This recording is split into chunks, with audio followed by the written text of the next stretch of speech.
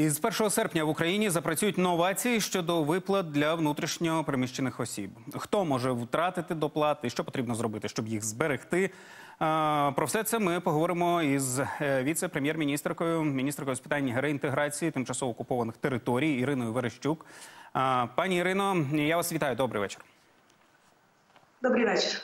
Е, Пані Ірино, от щодо цих е, змін е, порядку виплат ВПО, розкажіть, будь ласка, що саме змінюється, хто може втратити ці виплати, і ну і власне що потрібно зробити, щоб цього не сталося? Дякую за запитання. Дійсно, ця постанова про впорядкування виплат. Йдеться про те, що нам, як урядові, потрібно у 2023 році 72 мільярди гривень на такі виплати. А отже, що змінюється уже з 1 серпня, а для декого з 1 вересня? Власне, ця постанова про те, що ті категорії, які не є внутрішньо переміщеними особами за визначенням, вони не зможуть в подальшому отримувати виплати. Це, до прикладу, люди, які виїхали за кордон і перебувають там, не у супровіді хворих людей, не у відрядженні, не, наприклад, оздоровлюють своїх дітей і повертаються назад, а власне перебувають місяць і більше. А також люди, які були в ВПО і повернулися на своє місце проживання. Вони також не є за визначенням внутрішньо переміщеними особами.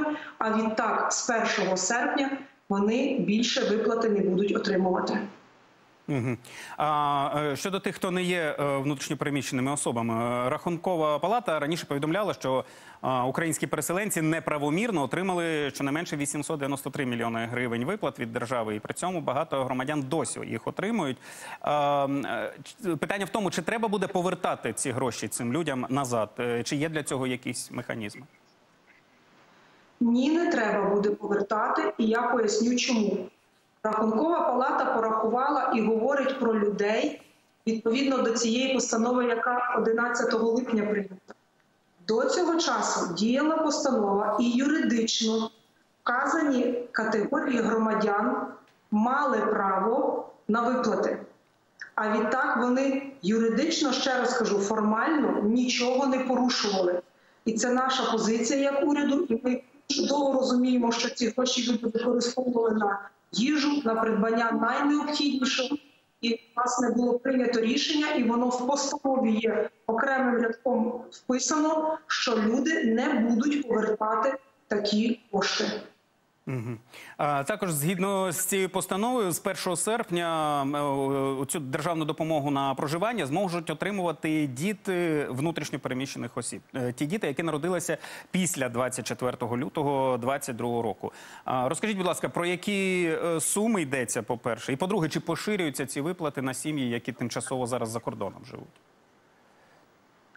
Дійсно була така проблема, тому що, до прикладу, мама виїхала, була вагітна так дитинкою у 22-му році, перемістилася до прикладу з Харківщини на Закарпаття і народила дитинку там. По факту, так дитина народжена до прикладу у місті Ужгород, і в свідоцтві про народження саме це місце вказано. Але Мама ж перемістилася, так і до прикладу, у неї є старші діти, які теж перемістилися. І дивна ситуація була: мама отримує виплати, старші діти отримують це по три тисячі кожного місяця. А дитинка, яка народилася, начебто не має такого статусу. Отже, ця постанова порядкувала, і діти, які народжені ВПО, які перемістилися, також отримуватимуть три тисячі щомісяця.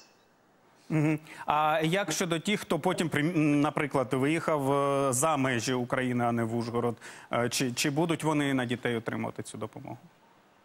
Власне, якщо вони виїхали на місяць, як я кажу, або на лікування, або на оздоровлення і інші відрядження, і інші причини переказані в постанові, то вони отримують. Якщо виїхали постійно, проживають так до півроку і більше, вони отримувати не будуть.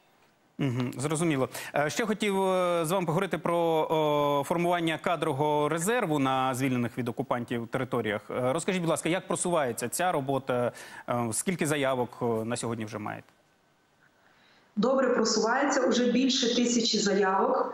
До речі, звертаються як чоловіки і жінки. Спочатку перший тиждень більшість були жінки, а зараз уже, як то кажуть, паритет. І це дуже добре. Є у нас 22 категорії, куди можна так записатися і е, сформувати такий резерв. На сьогодні найбільше заявок, звичайно, до Криму. Люди хочуть їхати, відновлювати Крим найбільше. Угу. А е, які спеціалісти найчастіше звертаються, і власне які спеціалісти потрібні найбільше зараз? Давайте почнемо, що потрібно найбільше. Так, це державна служба, органи місцевого самоврядування, все, що стосується відновлення влади. Ми розуміємо, що люди будуть потрібні. Також це і цивільний захист, і інші, наприклад. Ми зараз говоримо сили безпеки і оборони, але це їхній напрямок, і цей реєстр, коли ми говоримо про реєстр НАЦ, не включає. Однак є ще такі категорії: вчителі, лікарі, і ви теж знаєте, нам вони дуже потрібні. Ми дуже розраховуємо, що люди будуть записуватися саме в ці реєстри. Угу. А, ви сказали, що на Крим е, е, найбільше заявок припадає. А, а які ще регіони популярні, окрім е, Криму? Є такий якийсь рейтинг? Так, Крим, потім йде Донеччина, аж потім йде Луганщина. Угу, зрозуміло. А що е, треба зробити кандидату, е, щоб е, ну, потрапити в цей кадровий резерв? Загуглити НАЦ або сайт кадрового резерву, зайти на нього там декілька кроків, і буквально 20, можливо, 25 хвилин. Для мене це зайняло 25 хвилин, і можна швидко пройти і авторизуватись. І через деякий час після проведення перевірки вас буде зараховано до кадрового резерву. А потім, якщо потрібно перекваліфікація, все решта будемо теж про це повідомляти. Головне, щоб ми знали, що ви є, і ви готові. Е, Пані Ірино, я вам дуже дякую за всю цю корисну інформацію, яку ви нам надали. Е, Це була Ірина Верещук, віце-прем'єр-міністрка, міністрка з питань реінтеграції тимчасово окупованих територій.